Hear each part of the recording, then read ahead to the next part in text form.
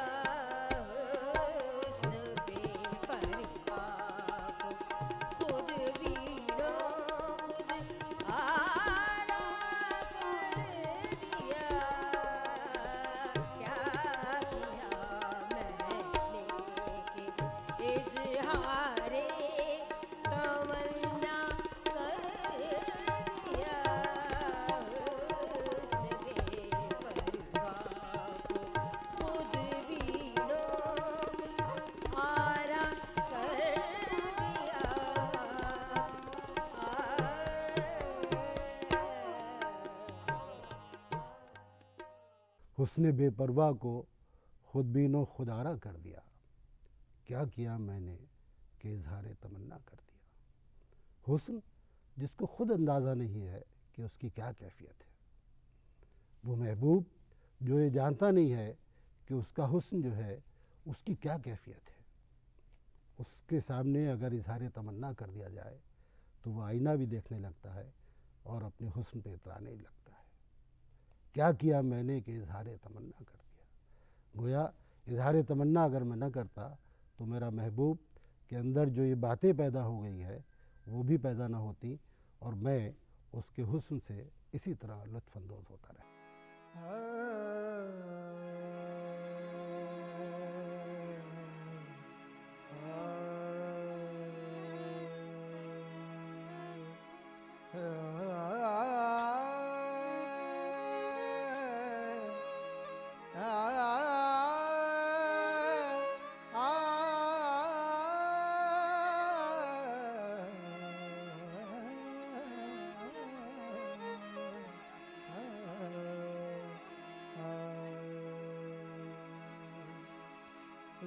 روشن جمال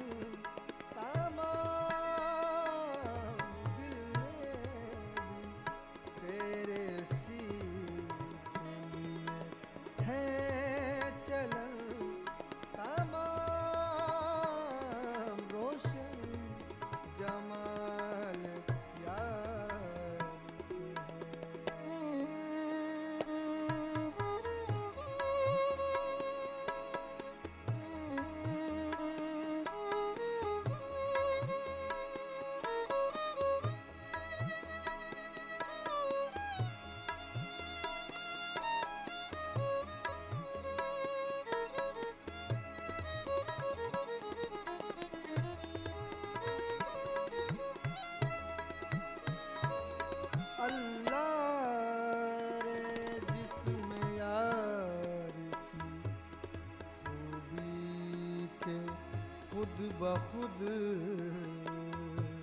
اللہ رے جس میں یار کی خوبی کے خود بخود اللہ رے جس یار کی خوبی کے خود بخود رنگی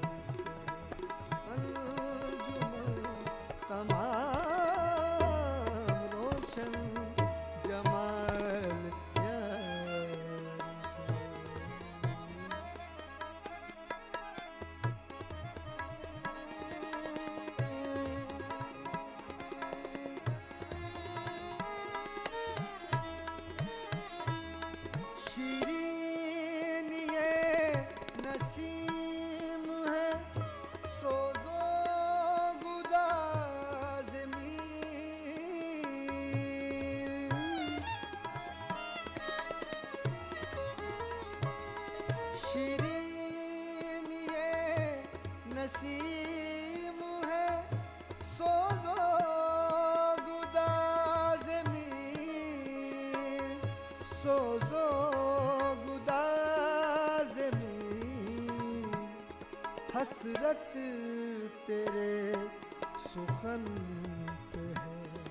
حسرت تیرے سخن پہ ہے۔ لطف سخن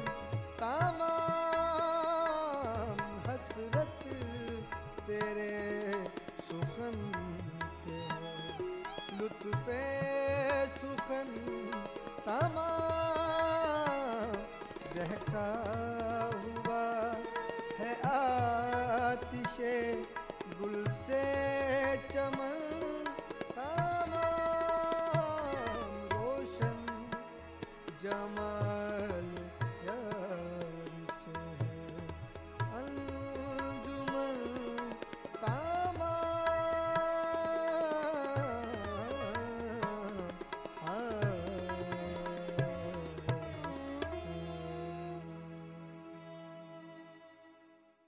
روشن جمال یار سے ہے انجمن تمام۔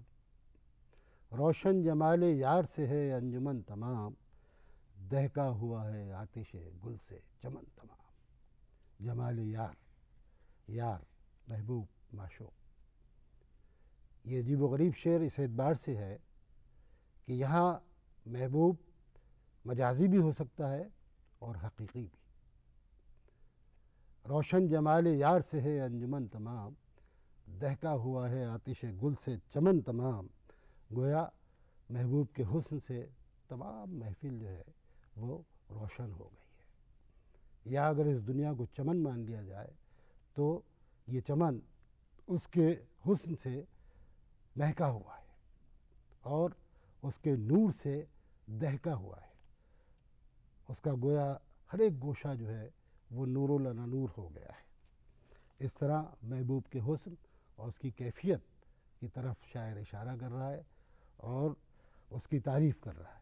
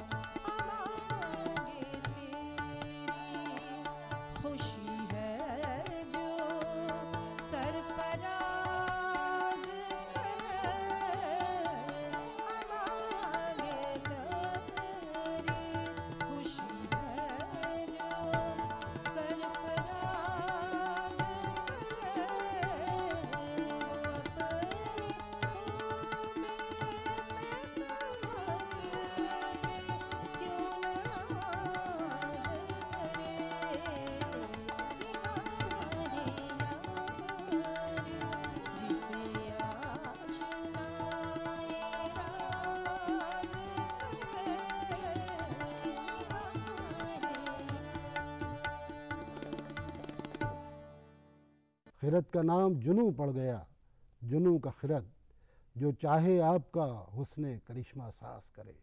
خرد اور جنوں دو متضاد لفظ ہیں۔ دونوں کے معنی، دونوں کی کیفیات یقیناً متضاد ہے۔ لیکن یہاں شاعر کہتا ہے کہ تیرے حسن کے کرشمے سے خرد جنوں بن سکتی ہے اور جنوں خرد بن سکتا ہے۔ گویا زمین کے معاملات، دنیا کے معاملات عشق کے معاملات، اس میں آدمی کا عمل اور رد عمل یقیناً تیرے حسن سے متاثر ہوتا ہے اور اس کی کیفیت وہی ہو جاتی ہے جو ایک دیوانے کی کیفیت ہے۔